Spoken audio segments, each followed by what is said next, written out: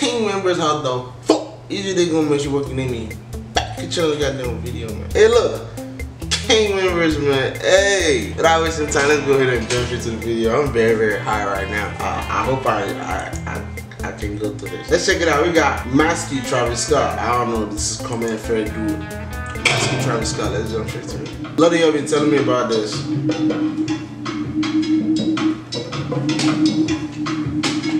Septembre 2014. Ça fait deux ans que j'ai quitté mon pays d'origine pour suivre mes études à l'étranger. Deux ans que je vis paisiblement ma vie dans le campus de Stanford. Deux ans que j'ai comme Stanford, c'était le place de ma résidence étudiante.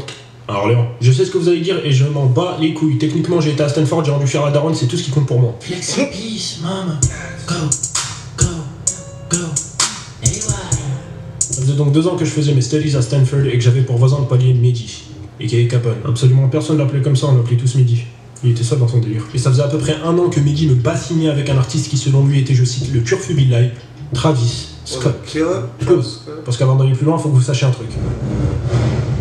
À l'époque, s'il y avait bien une personne à laquelle j'avais pas envie d'accorder ma confiance dans tout cet univers, c'était Mehdi. Pour la simple et bonne raison qu'en première année de fac, je lui ai prêté mon aspirateur et ce bâtard, il me l'a jamais rendu.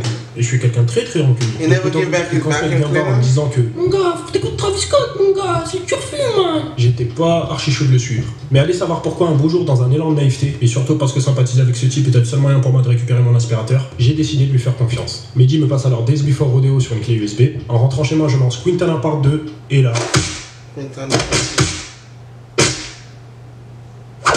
Travis m'a goumé. Et y a pas que Travis qui m'a goumé d'ailleurs. Je dis ça parce qu'à la première écoute de Days Before Rodeo, j'avais l'impression d'entendre plusieurs trucs à la fois, simultanément. Et elle est là la magie de Travis. Le mec est bourré de références qu'il mélange de façon très brutale tout en restant cohérent. Que ce soit des trucs récents comme anciens, hype comme mainstream, il peut te prendre le tout et t'en faire un collage archi stylé. Et avec le temps, j'ai compris pourquoi certaines personnes disaient qu'il fallait prendre Travis dans son ensemble et non pas le contraire. Parce que sinon, bah, ça a pas la même saveur. Et il y a des trucs comme ça dans la vie que tu dois prendre dans l'ensemble. Et pas te concentrer sur tous les éléments qui les constituent. Genre comme les tacos par exemple. Non, putain, oubliez ce que je viens de dire. Bref, oubliez cette histoire de tacos, sortez vos meilleurs dreads, vos meilleures voix I don't even know if meilleurs- the, the translation is correct. Parce qu'aujourd'hui, on cuisine du Travis Scott. Générique. Que ça soit sur l'aspect musical ou vestimentaire, il y a un truc que Travis Scott ne fait jamais, c'est respecter les règles. Et ça, pour le coup, ça a énormément joué sur l'identité de son personnage. Mais, bah il y a un mais. Je m'explique. Regardez ce visage. Regardez-le bien. Vous voyez quoi? Un mec stylé, cool, riche. Et vous auriez raison de penser ça. Mais moi, personnellement, et avec tout le respect que je lui dois, je peux pas m'empêcher de penser qu'un excès de charisme pareil, bah ça cache forcément quelque chose de vicieux. Genre, moi, ça me choquerait pas si j'apprenais qu'il était genre euh, kleptomane. Et des mecs charismatiques qui ont des vices pétées, t'en as de partout et de toutes origines. Je les appelle les beaux gosses d'Angers.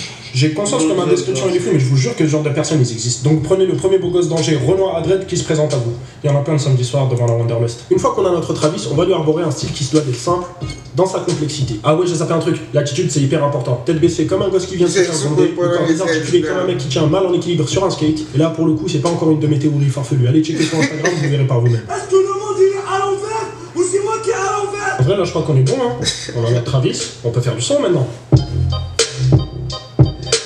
True. Travis Scott has head collage chez Travis Scott, c'est clairement dans ses prods. où On retrouve plusieurs instruments issus de plusieurs univers. Et colle trois prods qui ont rien à voir ensemble dans le même son et ça passe. Enfin, je sais pas, pour moi, c'est comme si tu mettais un plat dans un plat. Et je vais m'arrêter là parce qu'il est hors de question pour moi d'affirmer que Travis Scott est en réalité un taco. Bref, sortez vos casques, on va faire du son.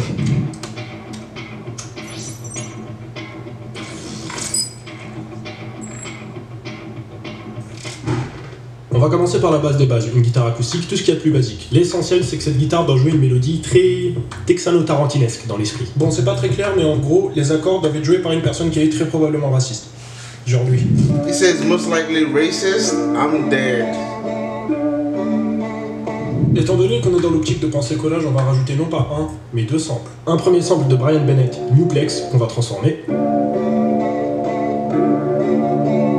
Et un deuxième sample de André Pop, Ophélia. Et on colle ce tout sur des percussions à la. Okay.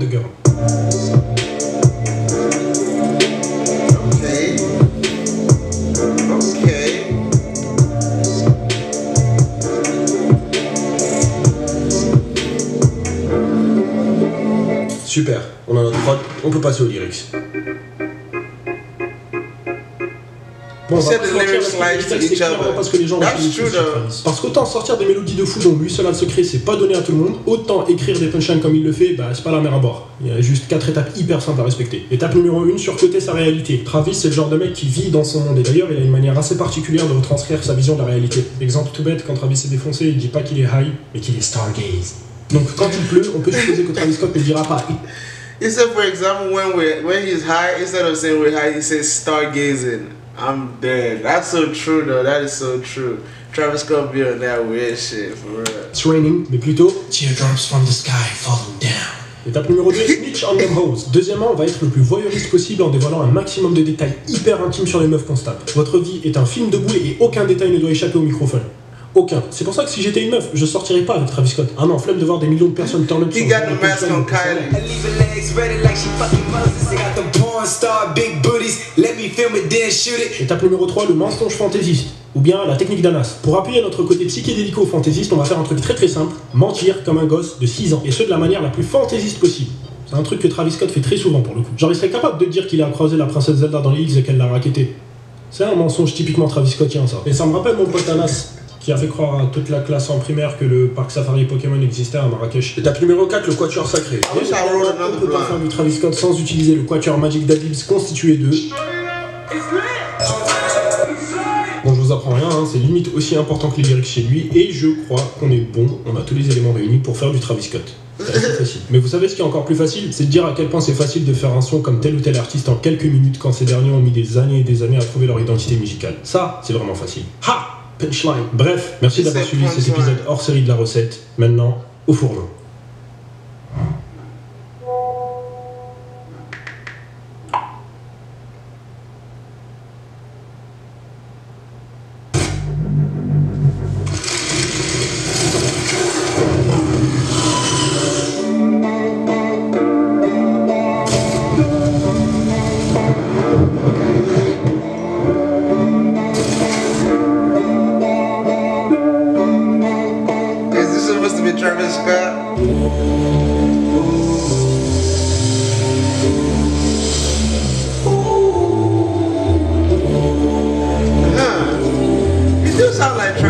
Actually, actually do sound like Travis. Hmm. I was born right, born right. Claustrophobic feeling cause she's so tight. Cold night, it's a cold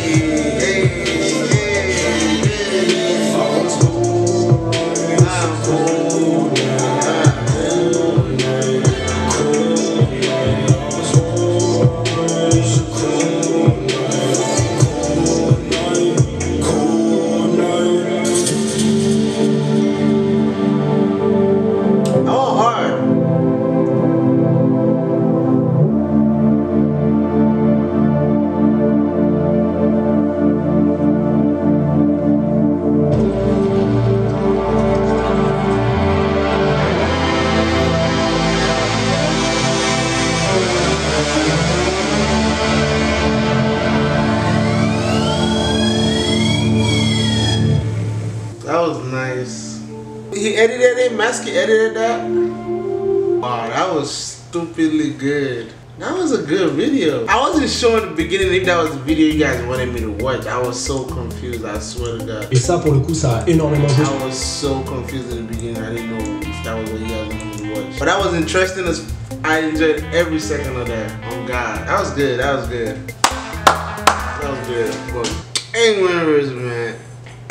Hope you guys enjoyed the video as much as I did. If you did, go ahead and smash the subscribe button, smash the like button, tell a friend, tell a friend, stop playing, boy. Follow me on Instagram at underscore name, follow me on all those social medias like you see right here. Scan the snap quiz, turn the post notifications on, tell me how the where they going. Alright, I love you guys so much, and I'll see you in the next video. Stay blessed up, okay? Now, sir.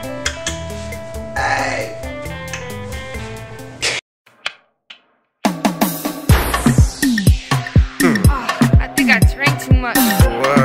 I think I like that. I think I drink too much. eh. I think I drink too much. eh. I think I drink too much. eh. I think I drink too much. Will you roll me a blunt so I can't cool off?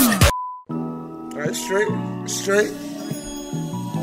Till the money come and the bitches come, you know we gon' ride. Only day ones we wanna fuck niggas around us. If you ain't talking money, you need to shut the fuck up. Uh, Whoa. First you go and get this money, not the bitches. Then you turn a little to a couple digits. Make sure all the niggas who was with you eating. Then you get a who gon' make you feel so different. Uh, first you go and get the money, not the bitches.